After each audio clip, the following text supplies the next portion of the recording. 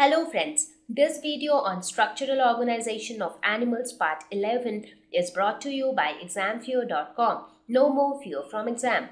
This we start with the support connective tissue.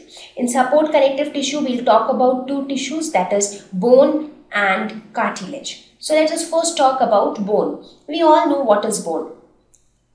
Right? Bone forms the skeleton of our body, the basic framework. It supports the main organs and the muscles of our body.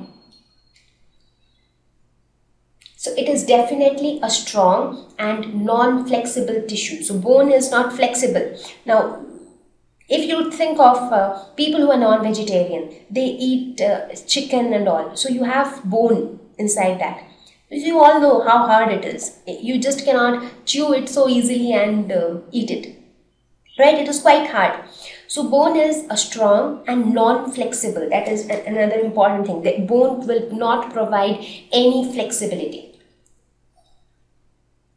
It forms the framework of the body. It protects softer tissues and organs. So since it is the outer framework inside this the delicate organs and delicate tissues can be protected very easily. So this is how see look at it this is how the bone forms the structure. So basically this is just one bone. But when many such bones are joined together, look at, just look at the feet. Do you think it is just one bone? No, right? There are so many bones. You see one, two, three, four, five, six, seven, eight, nine, ten. I mean, multiple number of bones are joined together in a specific fashion to form this skeleton correct? And over this skeleton only our body is formed. So it the basic framework is formed by bones. Now not only bones you need something to join the bones as well. Correct? So we'll talk about all those things little later. So for now you can understand that bone is something which is hard non-flexible and it forms the framework of the body so this is how the formation happens there is just one bone, many such bones join together to form each organ. Then all these organs get connected, the entire skeleton is formed. Then over that, you have your all other things, the accessories, and a beautiful human being is formed. Talking about the structure of bone again, whenever I'm I'll talk about the structure of any connective tissue, be it bone, blood, or anything. We'll talk about the matrix and we'll talk about the cells of that connective tissue. So the matrix in case of bone is an extremely dense and hard matrix. That is why I told that uh, there is a lot of variety in the connective tissue and this variety is because of the different types of matrix present in different types of connective tissue. So in blood the matrix was blood plasma which was fluid in nature. Here the matrix is an extremely dense and hard matrix. Because of that, then bone is also hard and non-flexible. This is made up of calcium and phosphorus and collagen fibers. So this is what is made up of. That is why you would have often seen that people, elderly people, uh, often doctors say that your bones are becoming weak now you should drink a lot of milk because milk has calcium you should take calcium tablets right why? Because in order to strengthen your bone, you need to have good amount of calcium in your body because calcium forms the matrix of the bone and if the matrix is there in good amount matrix is something which is hard and dense. If matrix is there your bone is also hard. And if the matrix amount of matrix reduces your bones tend to become soft. And once your bones tend to become soft what happens? The skeleton of your body it will not remain stiff and stout. So it will start giving problems. What about the cells which are embedded in this matrix? Bone cells are called as osteocytes this is the name given to the bone cells. They are called osteocytes. So osteocytes are embedded in the hard matrix, which is made up of calcium and phosphorus. So osteocytes again are present in cavities called lacunae. So there are these cavities. So how do they look like? We'll just see. This is, this is the transverse section of a bone. So this is your bone, I mean the transverse section here you see some red colored cells. So these are your bone cells, that is osteocytes.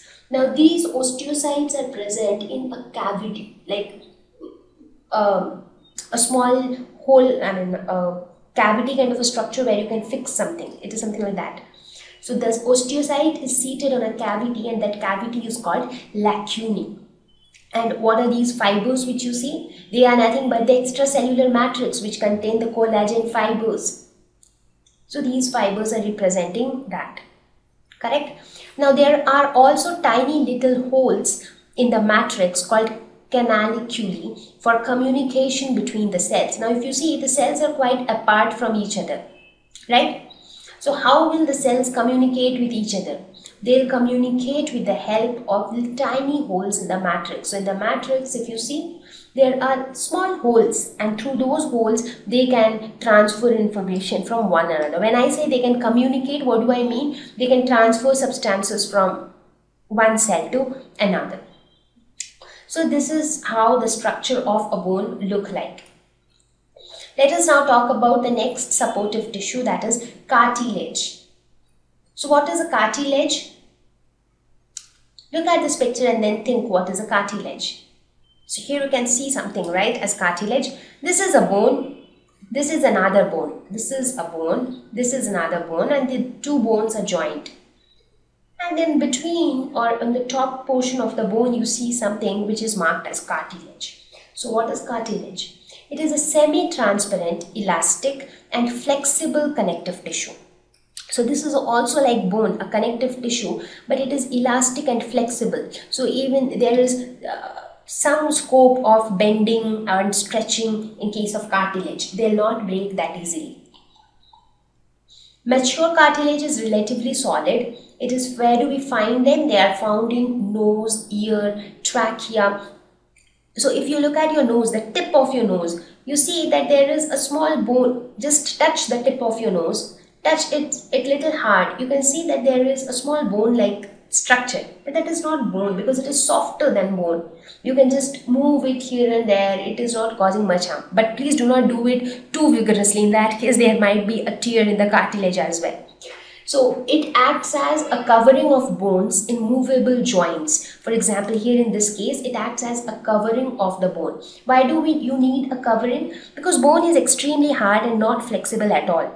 So for the protection of the bone, if you have a covering of something which is comparatively elastic, comparatively more flexible, so it will give a cushion-like feeling to the bone. So it can also protect the bone.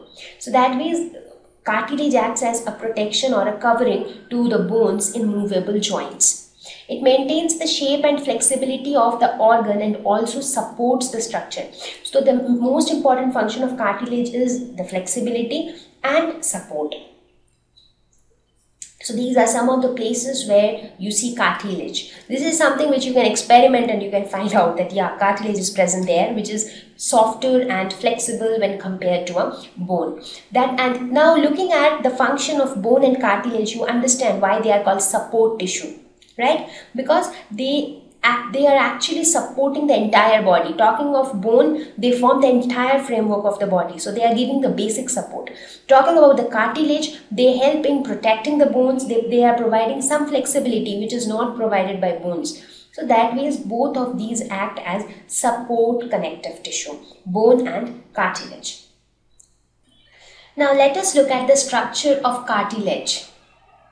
As I already mentioned, we'll first talk about the matrix.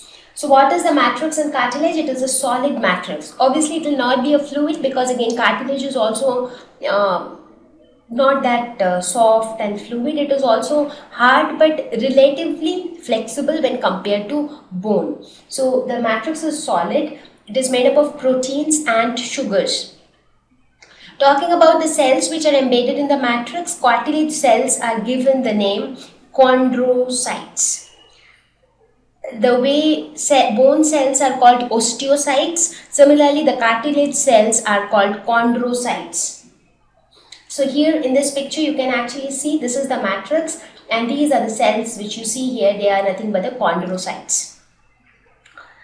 Now this cartilage also plays a very important role during the development of fetus inside the womb of a woman when the development of the fetus happens, cartilage plays a very important role because initially when the fetus is formed, there are no bones in its body. Everything is cartilage.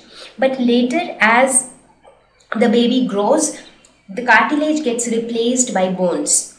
That is why when a newborn baby is born, it is very delicate. So if you look at the neck of the baby, so those areas are like very delicate. It is not that stiff and strong because at many places there are cartilage which is still present and which need to be replaced by bones later. In some vertebrates like sharks, the entire skeleton is made up of cartilage and there is no bone at all.